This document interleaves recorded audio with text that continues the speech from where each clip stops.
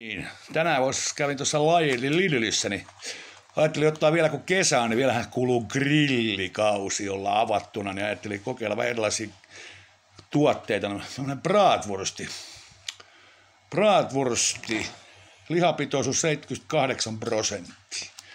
Tollasta voisi kokeilla ja sitten panna testiin tämmönen kuin kebab chisi, chili, chisi, sian ja naudan lihakäärölle.